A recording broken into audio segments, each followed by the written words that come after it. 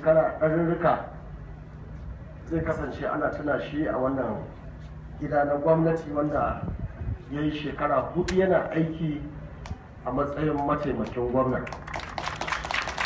Shi ma mune masa addu'a allah ya sa ragama ta ci gaba ko a wannan jihar ko ma a ƙasa gaba ɗaya. Muna kira ga al'umma da su ci gaba da jajircewa wajen riƙe aƙida aƙida ta buhari aƙida ta kwankwasiya aƙida ta jam'iyyar apc da ranar zaɓe su tabbatar da cewar sun je sun ce ina sak take. A nuna mana sak in an nuna musu su tabbatar sun nemi inda tsintsiya domin tsintsiya ita ce sak. In kaji an ce sak to wani yare ne na sunan tsintsiya. Wannan suna ko ka ce tsintsiya ko ka ce sak.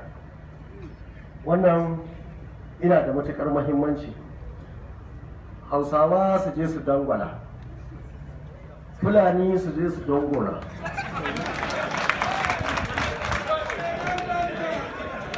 baburawa su yi Allah ke ka wannan ina da matuƙar mahimmanci domin a samu. A ci gaba da aikace-aikace a jihar kano kuna dai da labarin cewa waɗansu burinsu shine a komar da jihar nan shekara ta 2011 kaga har ginin nan ma aka ba su dama sai sun rushe domin baya nan shekara ta dubu da goma coronation hall babu shi sai sun je sun rushe. Dukkanin abubuwan nan da aka lillika na alatu a cikin gwamnatin jihar kano da katanga da aka yi ta zamani wanda duk wani ne zai wahala ya tsallaka. Domin in kuka duba abubuwan da aka sa mata na farko in ka to daga nesa tun daga gida ana kallon ka.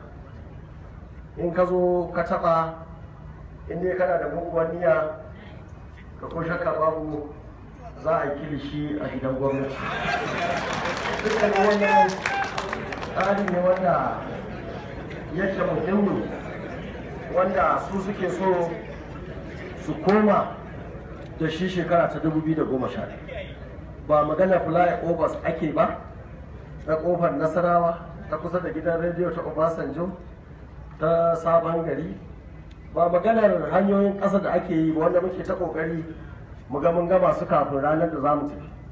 Wanda magana hanyoyi wanda muna sa rayin allah ya yarda a kilomita biyar biyar da muke yi na ba da umarni aƙalla ba a ƙasar ba in je in buɗe guda goma da kaina yayin da aka gama sa musu kwalta da magudanun ruwa da fitilu da sauransu.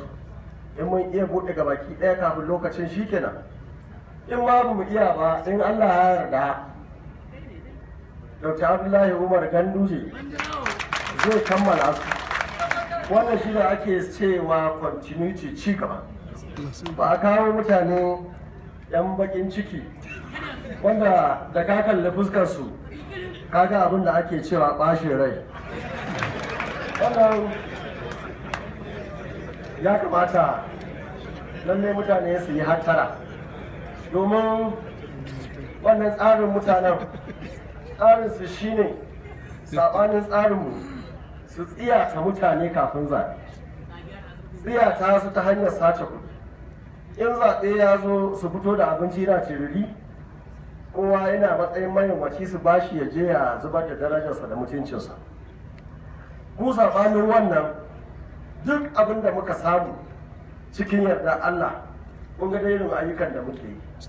Idan ka tara kuɗin da gwamnatin jihar Kano gabaki ɗaya ta samu da wanda ƙananan hukumomi gabaki ɗaya suka samu ko shakka babu da dukkanin kuɗaɗe da muka samu na shiga in ka tara su ka cire albashi ka zo ka cire dukkanin ayyukan da aka yi da ko shakka babu in baka samu zero ba za ka samu kusa da zero. Domin ga su nan kowa ya gani ya taba mutane da yawa musamman na ƙwarai suna tambaya ina gwamnatin jihar kano take samun kuɗi. Domin da duk gwamnatin da aka yi tana yin aiki kamar yadda muka yi shekara huɗu na tabbata gwamnati da ma jihar nan sai ta fi haka kyau. Ilimin musu ya fi inganta. Musamman harkar sana'o'inmu sai sun fi inganta. Musamman kuma aka yi la'akari da irin abubuwan da muka yi na harkar ilimi da abubuwa da muka yi musamman na sa injina a dam ɗin chalawa gorge da dam ɗin tiga wanda muke sa nan da lokaci kaɗan mun dai so gani a labaru da wayoyi da ake turawa. Yanzu haɗa injina a tiga ya yi nisa kuma injina na sashin chalawa gorge suna hanya wasu ma suna lagos wanda shi ma muna sa rai nan da lokaci kaɗan za a zo a har haɗa su domin masana'antu su inganta domin a yi ayyuka na alheri musamman sa street light da ba da ruwan sha da sauran ayyuka wanda ke buƙatar wutar lantarki. Cikin da Allah mun sa fandisho fandisho na inganta tattalin arziki na jama'ar jihar kano. Muna fatan jama'ar jihar kano za su mayar da alheri da alheri ranar zaɓe. Kamar inda suka faɗa ranar 28 za a yi zaɓe. A wannan rana kafin wannan lokaci wajen ƙarfe huɗu in allah ya yarda mun ɗaga mai malfa da 'ya'yansa da jikokinsa. Allah ya da. wanda suke suna nan suna yawo suna cewa su ba masu malfa ba ne. Yau malfa ta zama matsala a najeriya. Mutane waɗanda suka ci amfanin malfa shekara da shekaru. Musamman wanda muka yi wa nasiha cewa malfa ba abin arziki ba ce.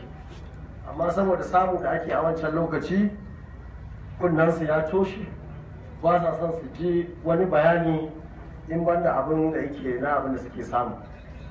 Yau gashi Allah ya kawo lokacin da gaskiya za ta yi halinta. Ranar 28 ga wannan wata na uku gaskiya za ta yi halinta a Najeriya gaskiya za ta yi halinta a jihar Kano. Muhammadu Buhari ya ci zaɓe a ƙasa. Dr. Abdullahi Umar Ganduje ya ci zaɓe a Kano. Sanatocinmu guda uku na kudu na arewa da kuma nan santarar wannan zaɓe na santarar kullum muna gaya wa mutane ba fa zaɓe ne ordinary ba na zaɓe. Zaɓe ne wanda da yawa miyagu wanda suke abuja da wa'annan tarkace da suke jihar kano. Da yawa muna jin su a cikin rediyo suna hayaniya suna faɗan maganganu wa'anda suke na ƙarya na shari da sauransu. Wasu suna ta rubuce-rubuce. Wannan mu a gurinmu musamman ma da aka zo aka daga zaɓe an daɗa ba mutane dama. Wasu zaci cewar mutane za su canza ra'ayinsu. To mu sai muka gama daɗa tsaurara ra'ayi aka yi domin da yawa waɗanda da na sani ba su da ra'ayin su zo su zaɓi tsintsiya. Ko shakka babu yanzu wannan tsakani sun gane gaskiya. Da yawa mutane waɗanda suke hayaniya da yanzu muryar su ba ta so mata sashewa domin ƙarya fure take ba ta yaya a wannan jiha an yi abubuwa na alheri wanda muke fata a matsayinmu na shugabanni a matsayinmu na 'yan jihar kano na asali muke sa rai in allah ya yarda wannan jiha tamu za ta samu iyaye na ƙwarai wanda za su gaba da yin alherin da muka gino ko muke ginawa da Allah. sunan allah nake son in dakata a nan ban sani ba ko zuwa za a yi a buɗe a dawo ko kuma za a ba mai girma injiniya dama yi magana. Me za ku yi?